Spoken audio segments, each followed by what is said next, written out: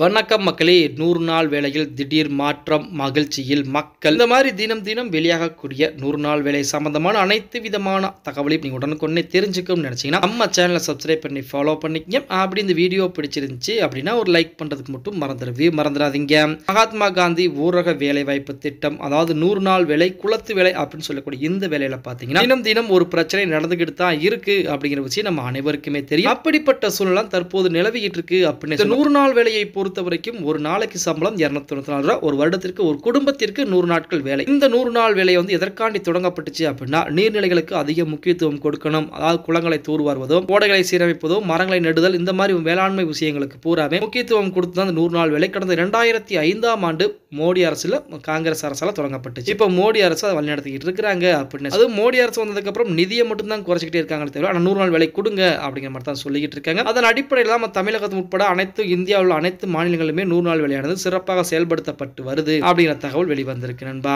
இந்த நூறு நாள் வேலையை பொறுத்த வரைக்கும் பொதுமக்களோட கோரிக்கை என்ன அப்படின்னா அதாவது வந்து சம்பளம் எங்களுக்கு முழுமையாக வேண்டும் அப்படிங்கிற மாதிரி தான் கோரிக்கை வச்சுக்கிட்டு இருக்காங்க. அப்படி கோரிக்கை வைக்க ஆரம்பிச்சதுலேருந்தே இன்ன வரைக்கும் பார்த்தீங்க அப்படின்னா சம்பளமானது கொடுக்காம நிப்பாட்டி வைத்திருக்கிறார்கள் தமிழக அரசு அதிகாரிகள் அப்படின்னு சொல்லலாம். அதாவது நூறு நாள் வேலையில வந்து சம்பளமானது இப்போ கிட்டத்தட்ட ஒரு மாத காலமாக கொடுக்கப்படலை.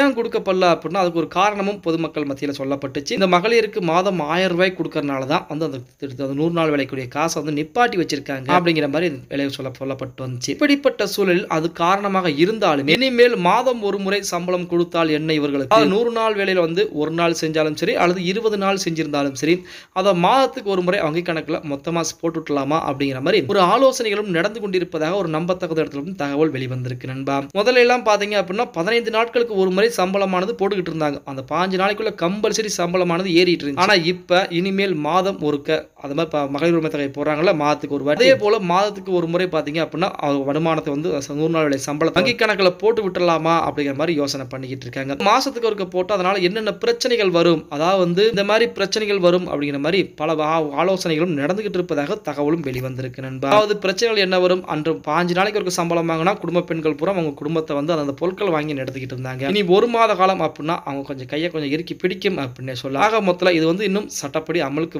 வரப்படலை இப்போதைக்கு தான் ஆலோசனை பண்ணியிருக்காங்க. ஆக மொத்தம் இது வந்தாலும் பெண்களுக்கு ஒரு மகிழ்ச்சியான தகவல் அப்படின்னே சொல்லலாம். என்ன அப்படின்னா மாதம் ஒரு முறை கிட்டத்தட்ட ஒரு பதினஞ்சு நாள் வேலைக்கு போனால் மொத்த அமௌண்ட்டாக வரும். அதை வச்சு ஏதாவது அவங்க சேமிப்பு ஏதாவது பண்ணுவதற்கும் வாய்ப்புகள் அதிகமாக இருக்கு அப்படிங்கிற மாதிரியும் தகவல் வெளிவந்துகிட்டு இருக்கு நண்பா. ஆக மொத்தத்தில் நூறு நாள் வேலை. இனிமேல் மாதத்துக்கு ஒரு முறை சம்பளம் கொடுப்பதற்குரிய வேலைகள் நடந்துகிட்டு இருக்கு. ஆனால் சட்டப்படி வருமா வராதா அப்படிங்கிறத நம்ம பொறுத்து தான் பார்க்கணும். ஓகே வீடியோ பிடிச்சிருந்தா மறக்காம ஒரு லைக் பண்ணி விட்டுருங்க. அப்படி இந்த வீடியோ ஃப்ரெண்ட்ஸ் அண்ட் ஃபேமிலிக்கும் ஒரு ஷேர் பண்ண மறந்துடவே மறந்துடாதீங்க.